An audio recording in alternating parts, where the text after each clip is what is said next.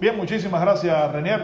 Estamos en el Estadio Latinoamericano, bien acompañado Frangel Reinaldo y por fin vamos a conocer el Programa Nacional de Talentos. Se hizo realidad el sueño, Se hizo realidad el sueño y bueno, ya estamos. Ahora, bueno, los invito a que lo vean, porque estamos en la parte de afuera, ¿no? Vamos a verlo y no se preocupen que hablaremos también de la preselección y de todo lo que está pasando alrededor de nuestro deporte nacional.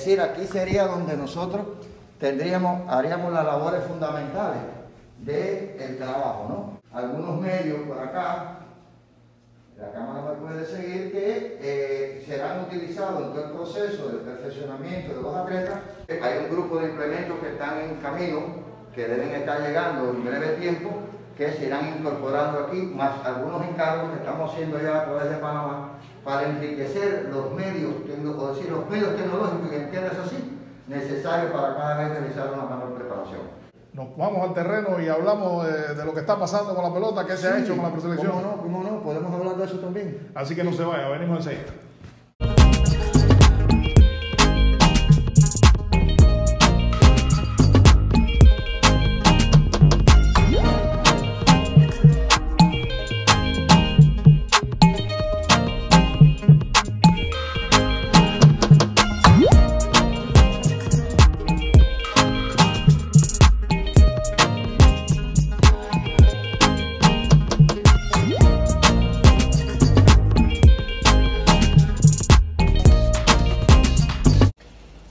Como prometimos, estamos ya aquí en la grama, en el dogout, de frente a la grama del Estadio Latinoamericano. El dogout de primera. ¿Cuántas veces eh, tuvo momentos tensos aquí, Frangel, en este dogout, en juegos, digamos, de, mucho nivel y mucho público? Sí, sí, sí. sí. Aquellos, aquellos playoffs, Santiago de Cuba, industriales, aquella serie selectiva que, que dirigí en dos ocasiones, Serrano, la de ocho equipos, que fue un equipo que fuera de pronóstico ganó el campeonato. Después terminamos siendo campeones en la primera de cuatro equipos también aquí con Orientales.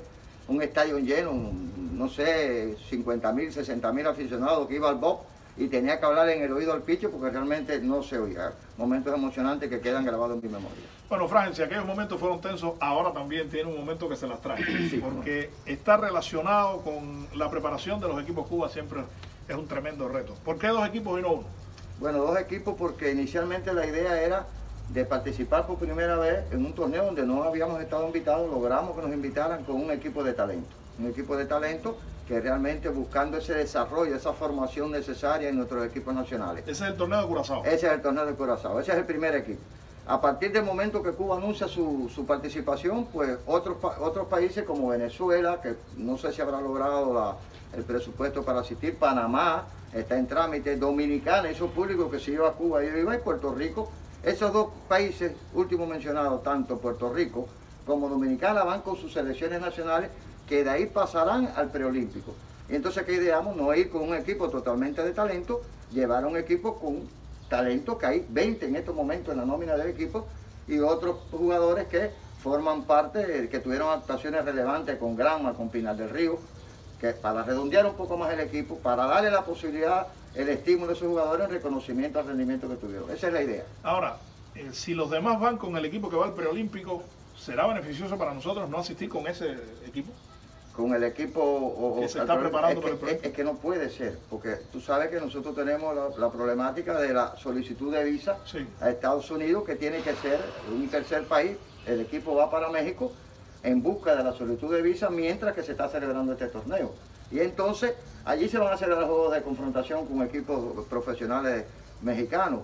Eh, y entonces no coincide la fecha, no, no, es posible. Lo ideal hubiera sido que hubiera ido el equipo Cuba, pero no puede ser porque las fechas coinciden y por lo tanto la, práctica no, no, lo permite. Bueno, regresan los entrenamientos, pero los dos equipos van a hacerlo de manera independiente. ¿Es así como está previsto? Sí, así como está previsto. Ahora, ¿Cómo ve Frangel eh, la ubicación de estas figuras jóvenes ¿Qué hay de nuevo en esos entrenamientos que se ha hablado tanto de que hay novedades?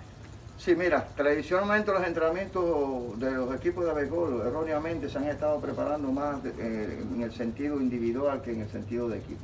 Nosotros nos fuimos a la práctica ahora de un entrenamiento de significación táctica, basado en que el pelotero fuera quien ejecutara las acciones, pero dentro del equipo, no individualmente. Es decir, que el béisbol es un deporte que se juega con la cabeza y se ejecuta con el cuerpo. Tan es así que hemos ido a la búsqueda de la recuperación de la construcción de la carrera, que es un elemento que a nosotros no hace falta. Nosotros no le caemos honrón a nadie. Más bien la ofensiva nuestra ha sido bastante eh, débil, eh, floja, eh, pobre en los eventos internacionales.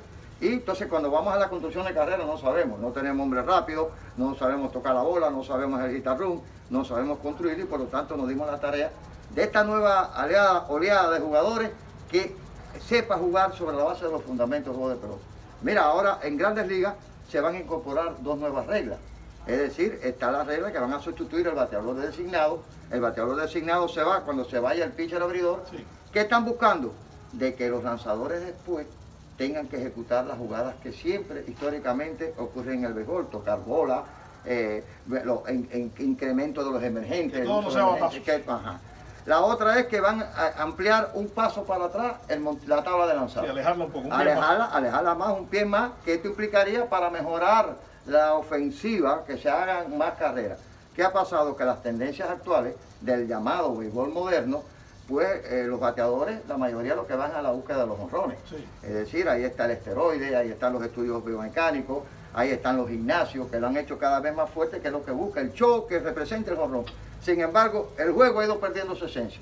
Tan es así que estudios, investigaciones sociales que se han hecho en Estados Unidos han demostrado de que ha habido una merma en la afición. Y es por eso que ahora se está buscando recuperar ese juego, ese juego creativo, ese juego de construcción de carrera que ha ido perdiendo, el béisbol de grandes ligas ha ido perdiendo su esencia y por eso nosotros no queremos caer en ese mismo problema. Ahora, Frangel, los entrenamientos entre los dos equipos son totalmente independientes. Independientes. Pero piensan, jugar entre ellos. Sí, como no. Es decir, hay un equipo que tiene un proceso, tiene 21 días de, entrenamiento y uno que inicia su preparación. Van a ver, hasta ahora la programación que se piensa aplicar son cinco juegos de confrontación, que es lo que el tiempo permite, aunque después el equipo que va para el preolímpico tiene cinco juegos más de control interno. En aras del tiempo, de lo que vio en el entrenamiento, de lo que está viviendo en este momento con ese equipo joven de talento, ¿ve más fuerza que lo que hemos tenido en los últimos años? Hay peloteros que pueden convertirse en slugger o hay que seguir pensando en poner la velocidad en función de la ofensiva. ¿Cómo ve esa masa de jugadores eh, desde el punto de vista ofensivo? Tenemos jugadores de fuerza. Tenemos jugadores con posibilidad de convertirse en slugger en el béisbol nacional pero tenemos el mayor número radica en ese juego rápido, en ese juego creativo, en ese juego de construir carreras y pienso que ahí va a estar lo fuerte. El juego latino se ha caracterizado siempre, el juego de nosotros siempre se caracterizó por ser un juego de iniciativa, de creatividad en el propio juego, de construir carreras. que, que, se jugaba sobre la base de los fundamentos del juego de pelota y hacia ese rescate vamos nosotros con esta eh, nueva camada de jugadores jóvenes. Y tiene que preocuparles, por ejemplo, lo que vimos en el playoff, cuántos toques de bola se fallaron. Eh, ¿Han analizado esto? Sí, sí, sí. ¿Dónde está el problema, Frangel? Parece que el toque de bola es sencillo, pero parece que no lo es tanto. No, no, no solamente el toque de bola, el bate corrido, la jugada combinada de toque y robo, el corrido de la base, hasta la técnica para correr. Una de las cosas que nos demostró eh, las evaluaciones que hicimos fue eso. Y el toque, bueno, el toque, yo te invitaría a que hacerte una muestra, si se permite, si es posible, no sé si la cámara te lo permite, de qué, qué sucedía o qué sucede con el toque en Cuba, por qué se falla tanto. Me parece una magnífica idea. Nos vamos al home play aquí del Estadio Latinoamericano.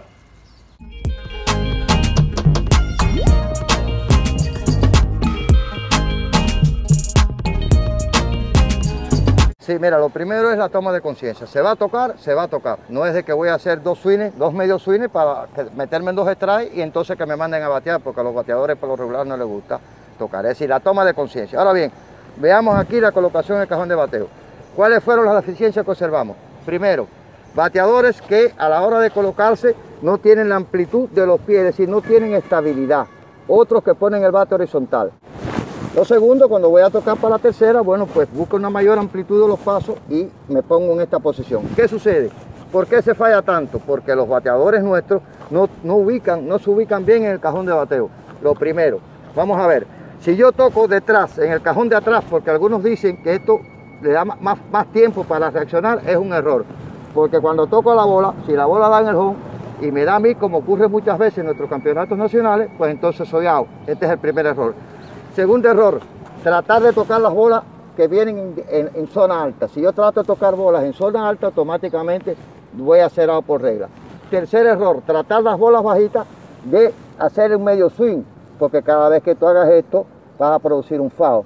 Otro error que hemos visto, y esos son errores que hemos estado comprobando y corrigiendo, y es tratar de amortiguar el movimiento cuando toco la bola. Esto es un error que trae como consecuencia que se produce el foul. Fíjense, foul aquí, foul acá. El retroceso del bate se produce automáticamente cuando la bola hace contacto con el bate. Y este sería siempre la guía. La colocación en la caja de bateo. ¿Qué se recomienda? Entre más adelante tú te paras, es mejor, porque parándote adelante estás más en zona buena y las probabilidades de que el toque te salga bien aumentan. Es decir, que desde que te paras en el cajón de bateo, la ubicación que hagas, así será el éxito para tocar la bola. Importante la toma de conciencia, toque de sacrificio, yo debo ser out.